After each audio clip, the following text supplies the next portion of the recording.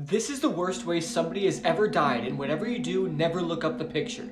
This is Hisashi Ouchi, and he became the most radioactive man in history after a lab accident.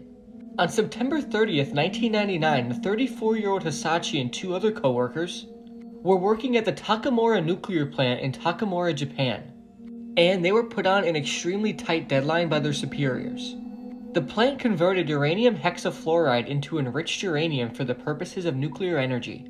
This usually involved a carefully timed multi step process, but Hisashi and his coworkers attempted to take a shortcut to meet their deadlines, but this led to an horrific explosion of uranium solution that turned into a nightmare for Hisashi.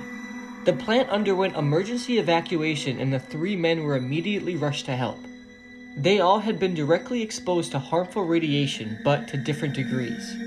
The sole survivor of the group was exposed to 3 sieverts of radiation. The second one was exposed to 10 sieverts of radiation. And Hisashi was exposed to a whopping 17 sieverts of radiation, which was more than any human in history.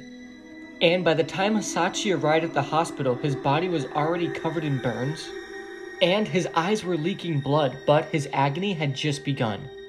Three days after the accident, Hisashi was transferred to the University of Tokyo Hospital. Hisashi's lack of white blood cells and his non existent immune response prompted experts to try a number of procedures to save him.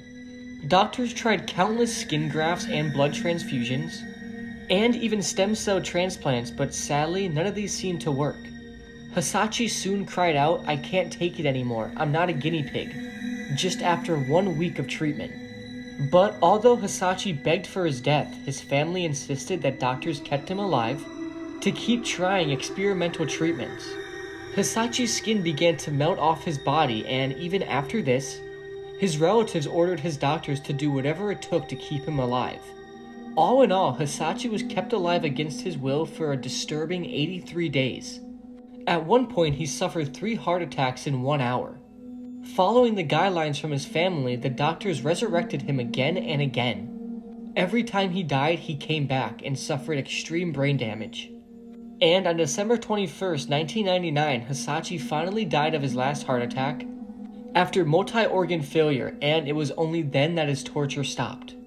You really can't fathom the amount of pain this man was in until you see the photo of him. He doesn't even look human and kind of looks like an insect.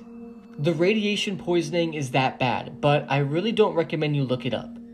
But if you do, while you're looking at it, keep in mind he was kept alive for 83 days in that state. Could you honestly imagine what was going through his head and what his body was feeling?